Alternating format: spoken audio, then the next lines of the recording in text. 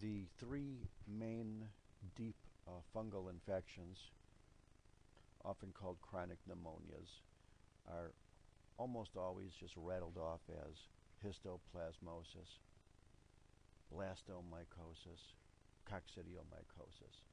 Both blastomycosis and coccidiomycosis have nice little uh, balls or yeast within cells, which are about the size of a nucleus. They're pretty big. But I want to show you the differentiation now of the uh, first one, which is called histoplasmosis. And the reason why um, I particularly like this picture is taken by a friend of mine and is so superior to anything I've ever seen in any of the textbooks. All of these cells here are macrophages. call them histiocytes, if you will. Macrophage is probably the better name. You see all these little purple granules in them, how small they are compared to the nucleus? These are all individual organisms of histoplasmosis. The genus and species is Histoplasma capsulatum.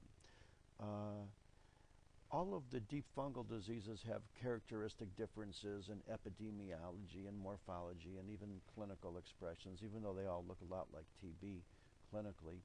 I just wanted to show you that from a differentiation of the microscopic morphology, histoplasma is so very, very much different from the other two. In the other two, you have big round balls that are about the size of the nucleus. Up here, you have tiny little cytoplasmic structures that are about 1,000 as big as a nucleus. Um, okay, let's move into our last, uh, second to the last group of infectious agents, which we'll spend a little more time in classifying. The protozoans, the single-celled um, kingdom. I guess it's a kingdom or a subkingdom. And there's about five or six or seven, maybe, common protozoal diseases. And without a doubt, malaria is by far the most clinically important. By far, still one of the big uh, top worldwide killers. Uh, the sp species name is Plasmodium. There's I'm sorry, the genus name is Plasmodium. There are four main human species. Falciparum is always the most serious and the one that's most likely to be resistant. We'll get into that life cycle in the next picture, but I wanted to mention a couple of others quickly. You'll probably never see them. You should generally know about them a little bit. Uh, babesiosis is transmitted by a deer tick, not a mosquito, which malaria is, but it has remarkable similarities uh, to malaria, both morphologically and clinically. The big difference is it's very, very rare in humans. You should probably know about it. I don't think you'll ever see a case. There is another protozoal disease, now not involving blood so much as uh, cutaneous and visceral. So there are both cutaneous and visceral varieties of leishmaniasis. And like the other two, there's a vector. In this case, it's a sandfly, just like the deer tick was for babesiosis, and the Anopheles mosquito was for malaria. And in leishmaniasis, it's a sandfly, uh, and it causes a wide variety of uh, diseases involving skin and the deeper, more serious ones in the viscera. Uh, sleeping sickness, the common sleeping sickness, also a protozoal disease, also a blood protozoal disease. It can be confused a little bit with malaria because you could find these little critters uh, near or on or by blood cells, and that's trypanosomiasis. There's the classical version of trypanosomiasis caused by the tsetse fly in Africa, as well as a South American variant of trypanosomiasis which is not called sleeping sickness, is called Chagas disease, C H A G A S. So the common differential of trypanosome diseases is trypanosomiasis in Africa and Chagas disease in South America. Last but not least, we can't forget the amoebas. The amoebas are a common cause of uh, colon infections, diarrheal infections, uh, large bowel infections. The causative agent is usually Entamoeba histolytica. Uh, so an Entamoeba histolytica infection or amoebiasis is usually a colitis, but you have to remember that they can also wind up forming abscesses in various places, of which liver is the most common site.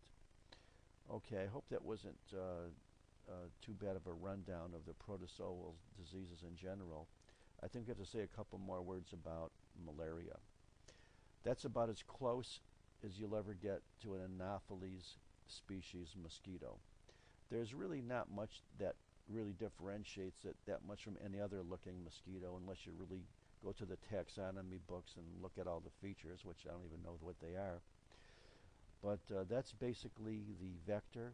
That's where the uh, sexual cycle of the uh, organism takes place, uh, the Plasmodium species, and in man, it's the asexual cycle, like it is with many of the um, uh, protozoal and parasitic infections in general. The human has the asexual phase of the cycle, the mosquito has the sexual phase. And uh, I guess a good place to start would probably be when the Anopheles mosquito bites you. When he bites you, he releases sporozoites, which has developed inside of him or her, because as you know, it's only the female mosquito that can infect you.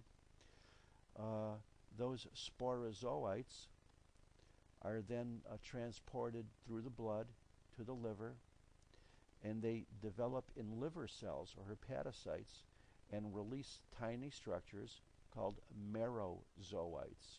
These merozoites go through a variety of stages inside of red blood cells now, which are eventually released as gametocytes, both male and female.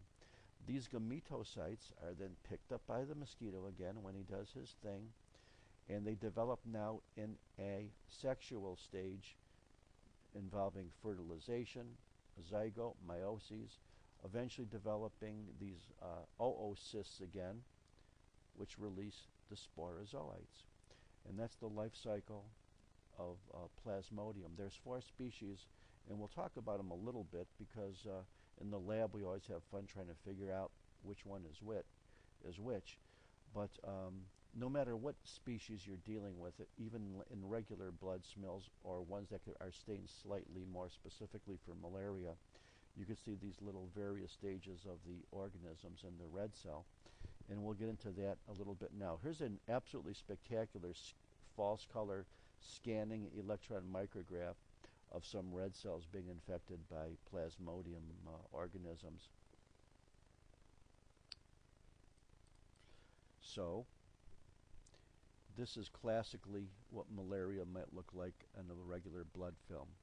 Here are some various stages of development. Sometimes they use the word schizonts or ring forms or things that might not be, uh, you might not remember or need to know very much, but the end result, the final thing that's released here, is a gametocyte. And because Plasmodium falciparum is without a doubt the most serious and clinically important and the one that's most likely to be resistant to anti common anti-malarial drugs, just remember that the only uh, gametocyte that is shaped like this sausage is seen in Plasmodium falciparum. Having said that, let's uh, run down some of the four different patterns, uh, hopefully quickly. Plasmodium falciparum uh, starts out with a, uh, a cell that's normal. What's in it infected, it can show a little slight marginal structure. They then develop into ring forms. Sometimes you could see a few little dots, but the ring forms generally uh, develop into trophozoites. The trophozoites, trophozoites eventually develop into schizonts, S-C-H-I-Z-O-N-T, and then the schizonts will eventually develop into a mature gametocyte, either female or male. And those are the things that are released back into this critter's nose here, the Anopheles mosquito. Uh, remember, the diagnostic feature, if you want to know this, you may, you know, I hate to say this, but they could very well put this on the board, is that when you see a blood cell that has a little malaria hot dog inside of it, this is only seen in falciparum. It's not seen in the other types. That's one of the distinguishing features. Um, another type of malaria, Plasmodium vivax, goes through the same sequence of ring forms, trophozoites, schizonts, but look, the gametocytes are not sausage shaped. In addition, both Plasmodium vivax as well as Plasmodium ovale have these real bright red dots in the cell called Schuffner's dots. Only vivax and ovale have this. Falciparum and malariae do not. And speaking of malariae, here's another type. You go from ring form to schizont to gametocyte. And in the last form, you have the same thing. You're going from, whoops, hello,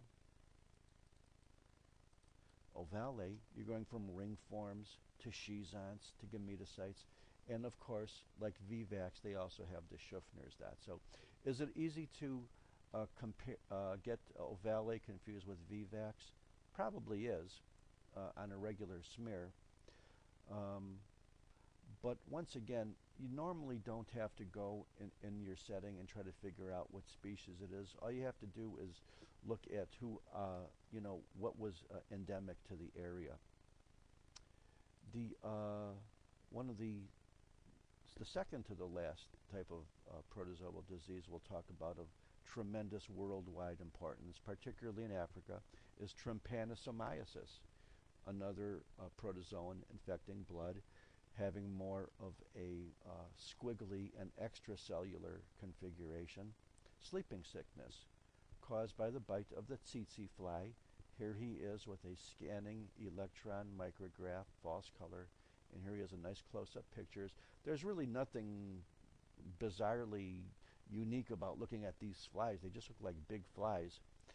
But remember, the other type of trypanosomiasis is uh, in South America, and for some reason that's just not called trypanosomiasis, even though it's caused by a trypanosome. That's called Chagas disease.